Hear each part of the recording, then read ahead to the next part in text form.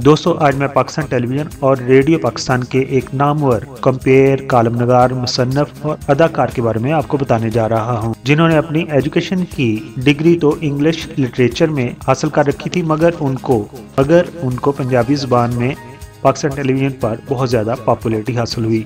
जी हाँ मैं बात कर रहा हूँ दिलदार परवेज भट्टी की। नोटिस पे बुलाया है, इन्होंने मुझे सुबह इकोनॉमी क्लास का टिकट दे दिया। इकोनोमाइजिंग करने के लिए। क्योंकि भी चंदा इकट्ठा करना तो पैसे तो बचने चाहिए ना, कहीं पे बच जाए।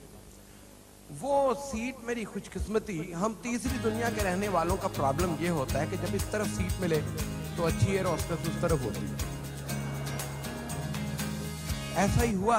बहरहाल बिल्कुल आयल के साथ मेरी सीट थी तो मैंने उससे कहा एयर हॉस्टेस से, मैंने कहा, ये मेरी सीट किनारे के साथ है तो बाई चांस मेरी कोनी तुमको लग जाएगी।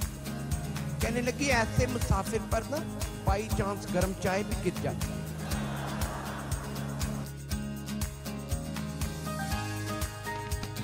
अदाकार, सदाकार कंपेयर कालम नगार मुसन्फ दिलदार परवेज भट्टी तीस नवंबर उन्नीस को गुजरावाला में पैदा हुए हैं। इब्तदाई तलीम उन्होंने गुजरावाला ही से हासिल की है। दोस्तों, अगर बात करें दिलदार परवेज भट्टी साहब की एजुकेशन की तो उन्होंने master degree in English literature हासिल कर रखी थी। अपनी तलीम को मुकम्मल करने के बाद उन्होंने बतौर इंग्लिश लिटरेचर लेक्चरर साईवाल के गवर्नमेंट कॉलेज में खिदमत अंजाम दी थी। लेकिन एक साल तक वो साईवाल में रहे और उसके बाद उनका तबादला दोबारा लाहौर में हो गया और लाहौर में आकर उन्होंने गवर्नमेंट कॉलेज लाहौर यूनिवर्सिटी को ज्वाइन कर लिया था। दिलदार परवेज भट्टी, टीवी और रेडियो के हर दिल अज़ीज़ कंपेयर अपनी हाजिर जवाबी में बेमिसाल थे। दिलदार साहब को बेक वक्त उर्दू, अंग्रेज़ी और पंजाबी जुबानों पर अबूर हासिल था। पाकिस्तान टेलीविज़न को पंजाबी में पहला क्विज शो शुरू करने का आइडिया भी दिलदार परवेज भट्टी ने ही दिया था। दिलदार परवेज भट्टी की शख्सियत ऐसी थी कि उनके एक दोस्त ने कहा था कि मेरी शादी पर वो ऐसे रक्स कर रहे थे जैसे वो अपने सगे छोटे भाई की शादी में मौजूद हों। यानी इस बात से महसूस होता है कि वो यारों के यार थे। उनके दोस्त कहते हैं कि हमारी कोई भी महफल उनके बगैर अधूरी रहती थी। अगर हम उनके बगैर किसी महफल में बैठे होते थे तो तब भी उनकी बातें और उनके जुमलों को हम याद करके खुश होते थे। वो कमाल के इंसान थे और अपनी कोई भी परेशानी किसी पर ज़ाहिर नहीं होने देते थे और दूसरों को हर हाल में खुश रखने के फन को वो जानते थे। हमारे एक दोस्त हैं एक सुनसान सड़क पे वो चले जा रहे थे तो एक साहब ने उनसे आके पूछा, राजदारी से?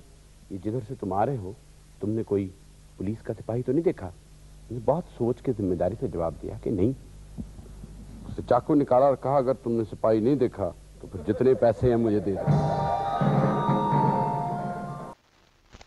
दिलदार परवेज भट्टी पर अल्लाह का खास करम था। वो पंजाबी ज़ुबान के कंपेयर थे, उर्दू ज़ुबान में वो कालम नगारी करते थे और अंग्रेज़ी अदब का वो ऐसा उस्ताद था जिसने एक बार अंग्रेज़ी में उस्तादों के उस्ताद प्रोफेसर जिलानी कामरान मरहूम को ये कहते हुए सुना था कि दिलदार परवेज भट्टी से बेहतर अंग्रेज़ी का कोई पढ़ाने वाला गवर्नमेंट कॉलेज में मौजूद नहीं है। दिलदार परवेज भट्टी ने अदाकारी, सदाकारी, कालम नगारी कंपेयरिंग के अलावा अंग्रेज़ी में शायरी भी की और उनकी बड़ी ख्वाहिश थी कि उनकी अंग्रेज़ी शायरी की कोई किताब शाया हो।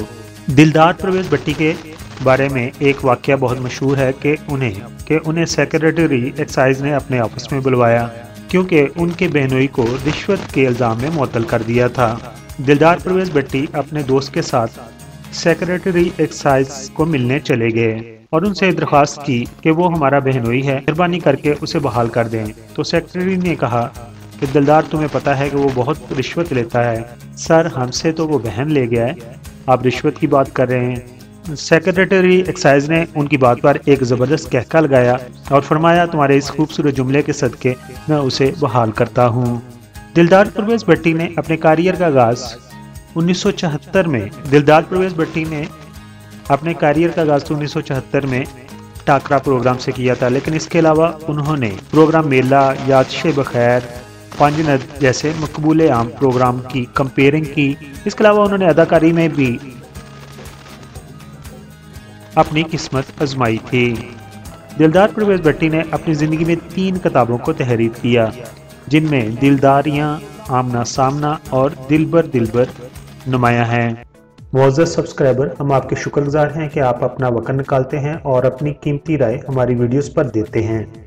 हमारी प्लीस ये है कि हम आपके कमेंट्स को अपनी अगली वीडियोस में शामिल करते हैं। दोस्तों, अगर आपने हमारा चैनल अभी तक सब्सक्राइब नहीं किया तो प्लीज़ सब्सक्राइब कर दीजिए और हमारे साथ जुड़े रहिए।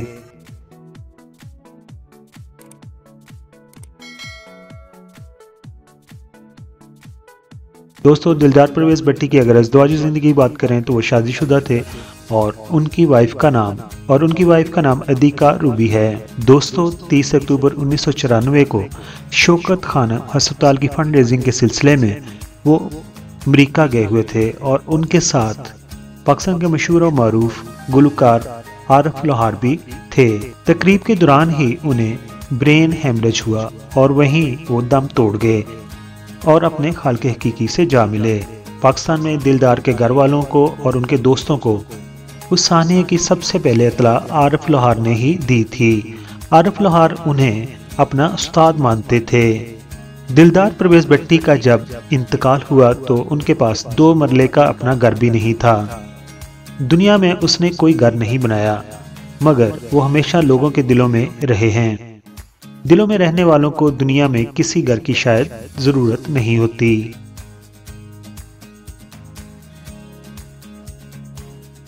खीर मिक्स वाले, उन्होंने कपड़िया ही हो इंस्पेक्टर जबर हुसैन ज़मीन फखरी।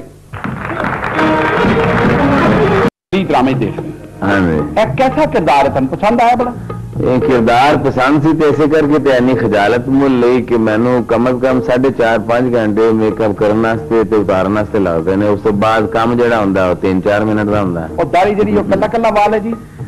ਆ ਕੱਲੇ ਕੱਲੇ ਵਾਲ ਨੂੰ ਜੋੜ ਕੇ ਤੇ ਫੇਰ ਲਾਉਂਦੇ ਨਹੀਂ ਤੇ ਜਿਹੜਾ ਉਹ ਲੱਗਦਾ ਨਾ ਮਾਸਕ ਮਾਸਕ ਉਹਦੇ ਨਾਲ ਉਹ ਚੁੜੀਆਂ ਪਾਉਂਦੇ ਨੇ ਬਸ ਉਹਨੂੰ ਉਤਾਰਨ ਲੱਗਿਆ ਬੜੀ ਤਕਲੀਫ ਹੁੰਦੀ ਤੇ ਚੜਾਉਣ ਲੱਗਿਆ ਬੜੀ ਤਕਲੀਫ ਤੇ ਉਹਦੇ ਚ ਪਾਟ ਤੇ ਉਹੀ ਨਾ ਇੰਸਪੈਕਟਰ ਜਮਰ ਹੁਸੈਨ ਜ਼ਮੀਨ ਫੰਗ ਹੋ ਸਕਦਾ ਪੁਲਿਸ ਵਾਲੇ ਨੇ ਵਰਦੀ ਨਾ ਪਾਈ ਹੋਵੇ ਚਿੱਟ ਕਪੜੀਆ ਹੀ ਹੋਵੇ ਇੰਸਪੈਕਟਰ ਜਮਰ ਹੁਸੈਨ ਜ਼ਮੀਨ ਫੰਗਰੀ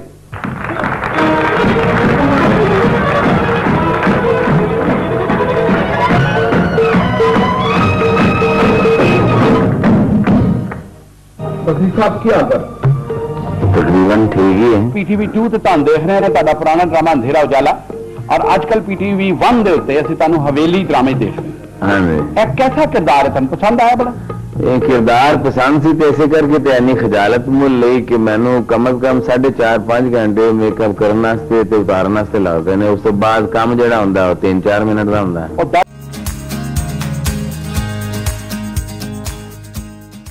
तो दूसरे चैनल की तरह मैं शुरू में नहीं कहता कि मेरे मेरे चैनल को सब्सक्राइब कर दीजिए, लेकिन अभी आपने वीडियो मुकम्मल तौर पर देख ली है। अगर पसंद आई हो तो मेरे चैनल को आप प्लीज़ सब्सक्राइब कर दें। आप तमाम दोस्तों का बहुत बहुत शुक्रिया।